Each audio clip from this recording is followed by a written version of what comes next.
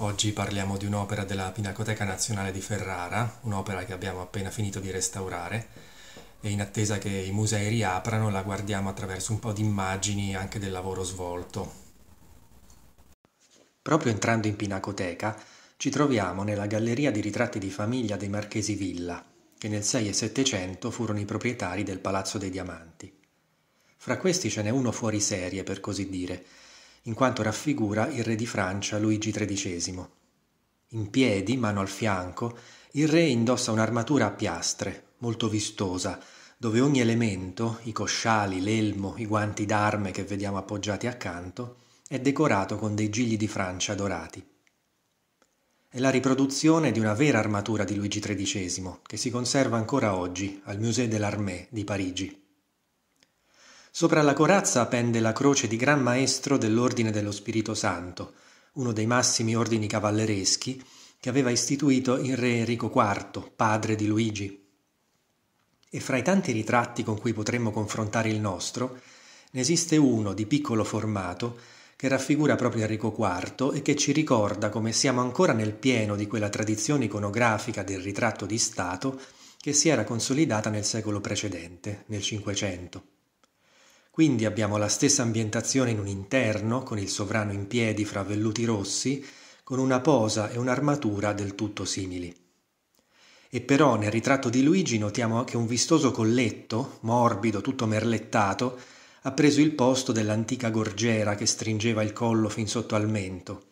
E notiamo che la testa, che purtroppo è una delle parti che più hanno sofferto dal punto di vista conservativo e che oggi si presenta con dei tratti piuttosto schematici,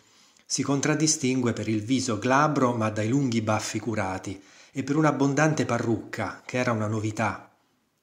Sono tutti segni di un cambiamento verso un nuovo gusto nell'abbigliamento, un gusto sempre più ricercato, opulento, con cui la moda francese da allora in avanti sarà un punto di riferimento in tutta Europa. Ed ecco il modello del nostro dipinto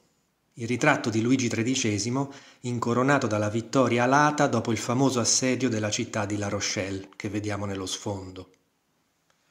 Si trova oggi al Louvre ed è un capolavoro di Philippe de Champagne, che fu ritrattista ufficiale del sovrano e di altri uomini di Stato. Di questo ritratto sono note diverse derivazioni, tutte eseguite nella bottega dell'artista e oggi conservate in Francia, per esempio al Museo Louis Philippe allo Château d'Eu o in varie collezioni private e a queste possiamo aggiungere dunque anche la nostra di Ferrara. E la ragione della sua presenza qui in Palazzo dei Diamanti è quasi certamente legata al fatto che i Villa, al culmine della propria ascesa sociale, ebbero importanti carriere militari in Piemonte per i Savoia e il Ducato di Savoia era stretto alleato della Francia e addirittura al tempo di questo ritratto era governato dalla sorella di Luigi XIII, quella Cristina di Borbone che non a caso era detta Madama Reale e che viveva in quel palazzo che ancora oggi porta il suo nome, il Palazzo Madama, appunto, a Torino. Col passare del tempo si è persa cognizione di questo momento della storia dei Villa e anche il ritratto è andato incontro a un abbandono che lo ha fatto arrivare a noi in pessime condizioni di leggibilità. Era stato restaurato già più volte, a causa di un degrado che era iniziato in tempi antichi e aveva subito degli interventi parziali che a loro volta poi si erano degradati. Il nuovo lavoro, appena concluso, è stato eseguito da Beatrice Miserocchi di Bologna. Oltre a una pulitura, si è trattato soprattutto di smontare selettivamente le vecchie alterazioni, reintegrando le lacune ottenute e cercando nel complesso di uniformare una superficie pittorica fortemente irregolare, rispettando al massimo il dipinto originale di cui abbiamo recuperato gran parte di quella complessità che era stata soffocata, che era stata appiattita.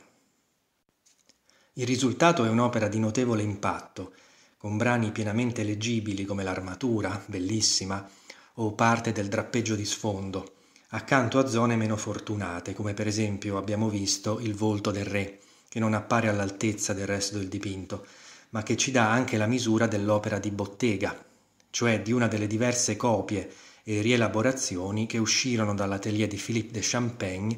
per diffondere l'immagine del re che lui aveva fissato con il prototipo oggi al Louvre.